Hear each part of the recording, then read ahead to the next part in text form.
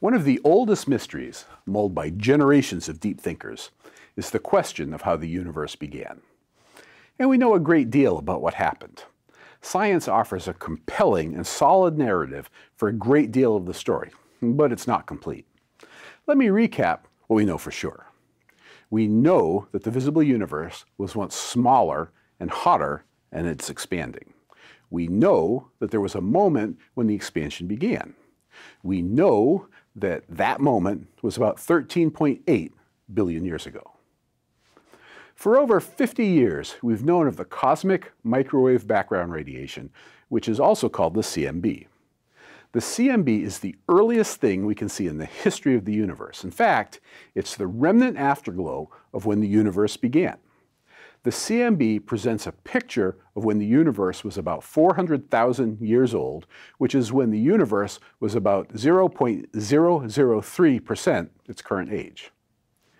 If we equate my current age to the age of the universe, seeing the CMB is like seeing a baby picture of me when I was 14 hours old.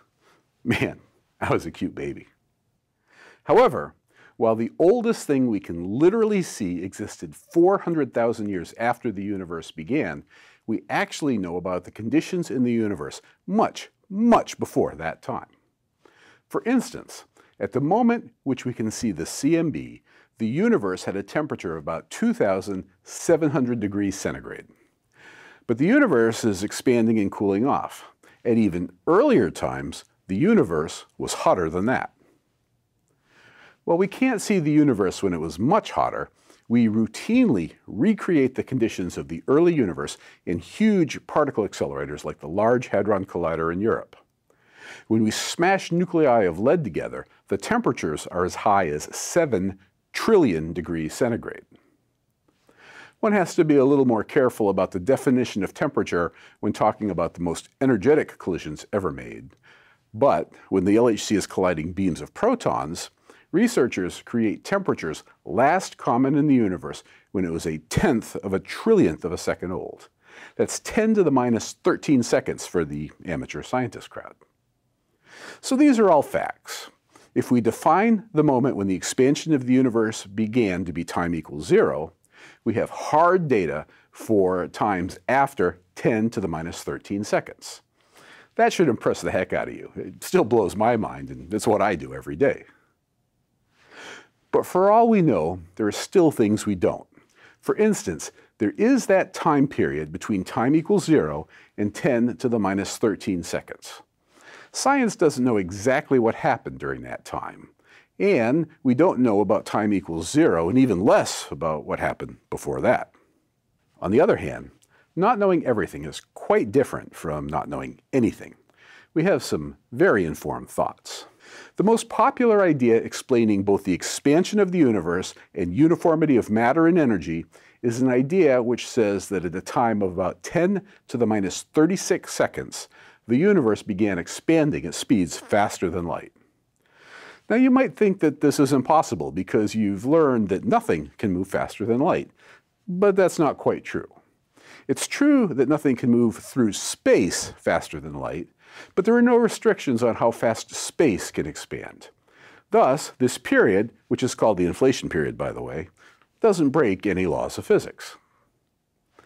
What would cause space to begin expanding so quickly? Well, on this, we only have an informed guess.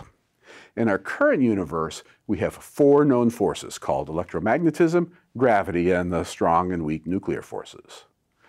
Judging from what we know about the behavior of those forces, it looks as if at high enough energies, they merge to be a single force. This is kind of like how Isaac Newton realized that there is a single explanation for why things fall and the march of the planets across the sky. And that single thing is now what we call gravity. If all forces were once the same and they act differently now, then there must have been a time at which they became different. And one idea is that the thing that gave the energy to cause the universe to expand is when the strong nuclear force became different from the others. That's called a phase transition, and it's a perfectly reasonable idea. In case that idea is confusing to you, here's an analogy. Suppose you had a container that contained both air and water. If the temperature of the container is above the boiling point of water, the container will contain both air and water vapor. However, as the temperature drops to below 100 degrees centigrade, the water turns to liquid, while the air remains gaseous. At that temperature, two things that look the same suddenly look different. Now, you shouldn't believe in either inflation nor the idea that a single force starts looking like four forces is what caused the inflation to exist. But they both are quite reasonable conjectures, and they don't require physics beyond what we know to be true from observation. Indeed, both ideas are exactly consistent with known data. Okay, we haven't gotten to the moment where the universe began, but we're almost there. Let's recap what we do know. Assuming that no new physical principles arise at higher energies, we have time equals zero, followed by about 10 to the minus 43 seconds. Before 10 to the minus 43 seconds, the energies and temperatures are all so high that all known physics fails. None of our intuition from what we know now can apply during that time.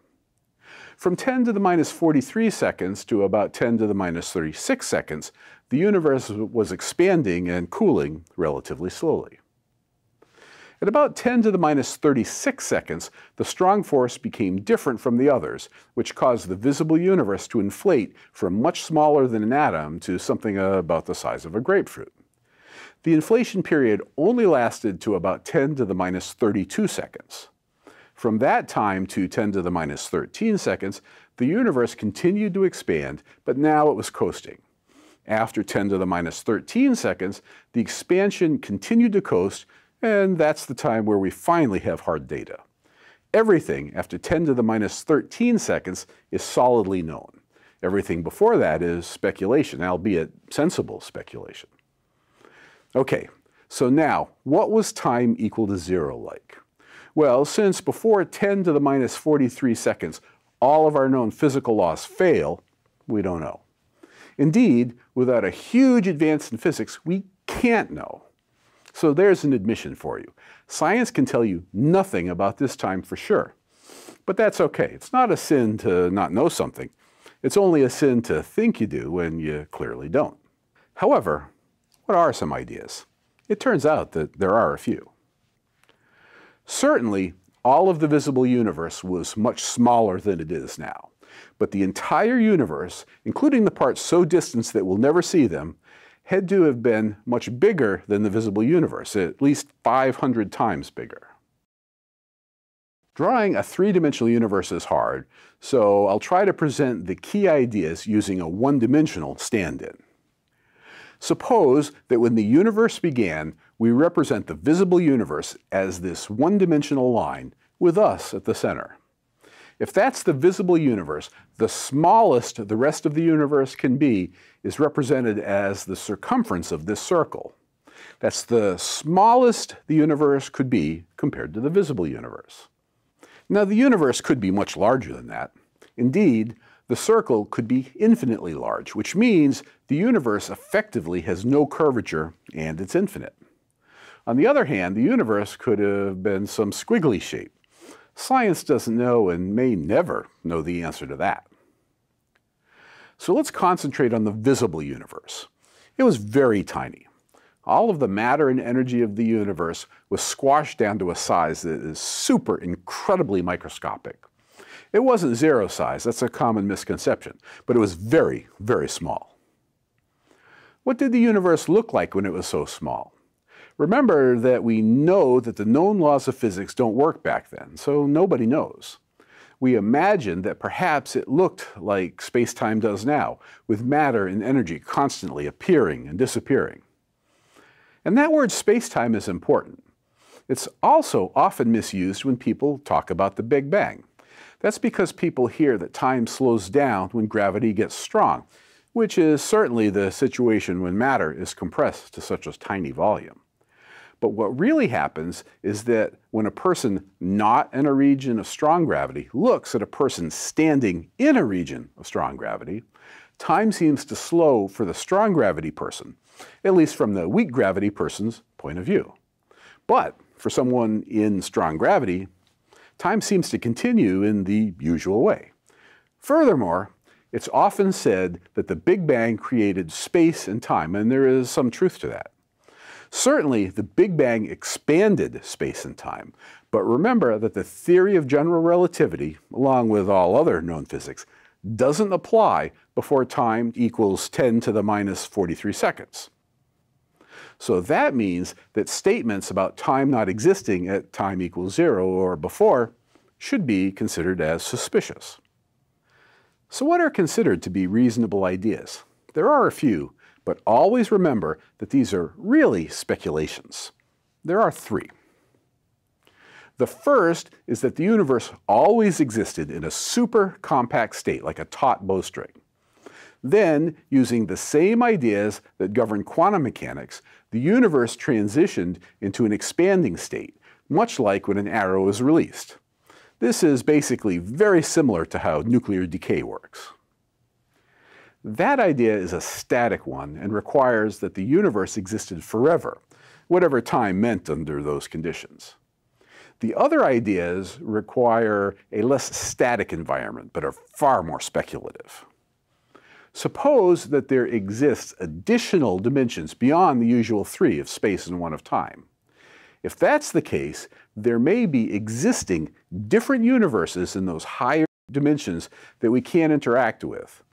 That's not so different from birds soaring in three dimensions when we must walk in two. If that's the case, then perhaps the universe we exist in now always existed, floating around in higher dimensions.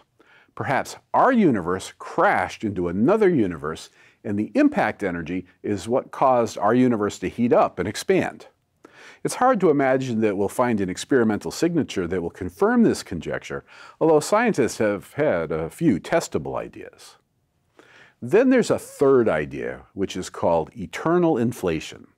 Perhaps universes move like the blobs in a lava lamp, with blobs breaking apart and combining.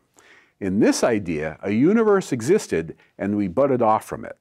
Similarly, universes have budded off from our universe. In this idea, there is a constant creation of universe after universe, each from a parent universe. Again, it's hard to see how we would confirm this idea. Of course, you should remember that the bottom line is that we really don't know what happened at time equals zero, and certainly not before then. Furthermore, since we have no idea about the nature of the universe before 10 to the minus 13 seconds, and we think there is a time where known physics absolutely must break down, it's premature to even sound like we have an educated guess. After all, as my colleagues and I explore higher and higher energies, we may discover something that radically changes our current ideas. In that case, the data may point our thinking in a very different direction. Indeed, I'd be shocked if the final answer was what you might have read about in popular science literature. I wish I could have told you that science knew what the answer will be, but that would be a lie, and I'll never lie to you.